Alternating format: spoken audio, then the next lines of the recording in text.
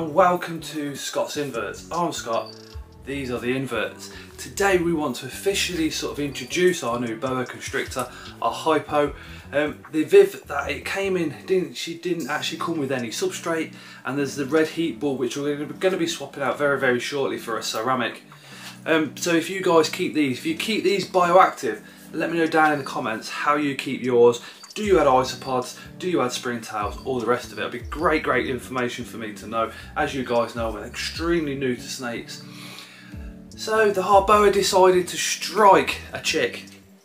It then dropped the chick, and then this is the footage of him or her munching it down.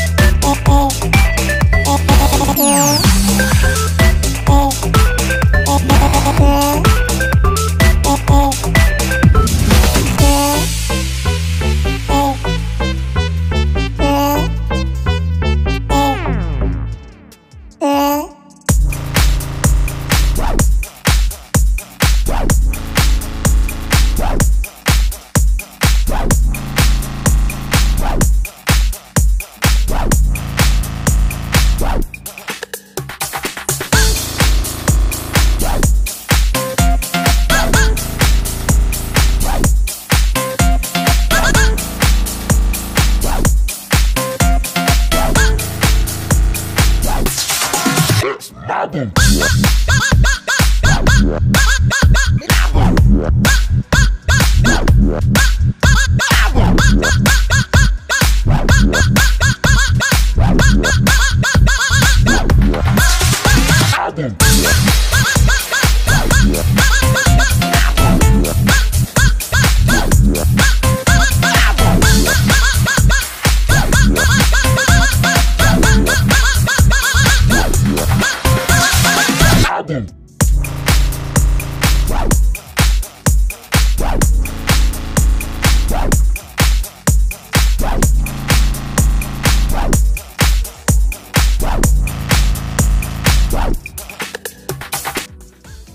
So guys, what do you think to our boa? Again, let me know down in the comments if you find these, these the snake videos interesting. Also, let me know down in the comments if you want to see more of the boa in future videos and also, more importantly, if you do keep snakes and you do keep them on a bioactive setup, let me know down in the comments because I want to provide the right care for this uh, individual. And as you, all you guys know, I am extremely new to snakes. I have got some spiders. I'll show you these spiders because Balfouri number one, Balfouri number two. We have the big female in here as well. Bit of a bonus footage actually. This is this is for a video that's coming out pretty soon as well. And we have another one and we have number five. All nice, all calm, all collective, all nice, chilled out, relaxed, apart from this guy. Is that the smallest threat pose you've ever, ever seen?